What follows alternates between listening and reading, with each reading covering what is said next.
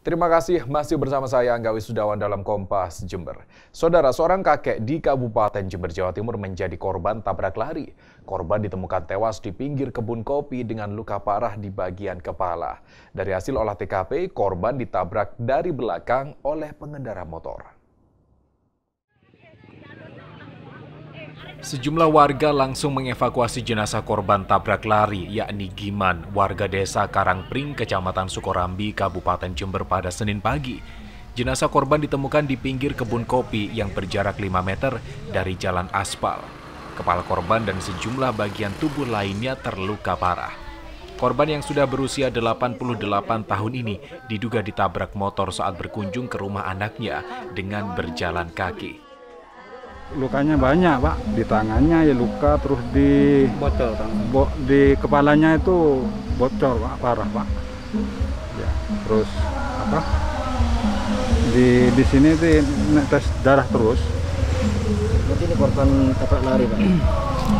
Ya iya mungkin.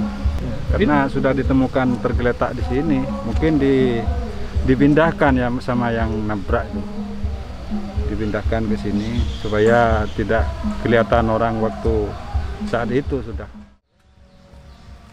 Dari hasil olah tempat kejadian perkara, polisi memastikan korban ditabrak dari belakang oleh pengendara motor yang melaju dengan kecepatan tinggi. Pengendara motor diduga juga terluka karena terdapat cucuran darah dan bekas goresan di aspal jalan.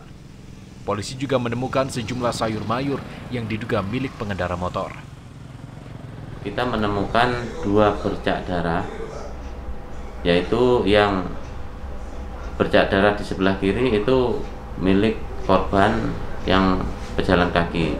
Sedangkan bercak udara bercak darah sebelah kanan itu milik pengendara sepeda motor. Jadi pejalan kaki itu dari arah utara ke selatan sedangkan sepeda motor juga sama satu arah dari arah utara ke selatan.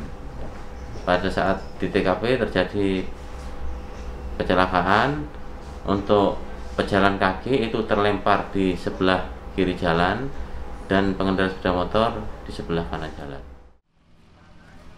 Tim Liputan Kompas TV Jember, Jawa Timur.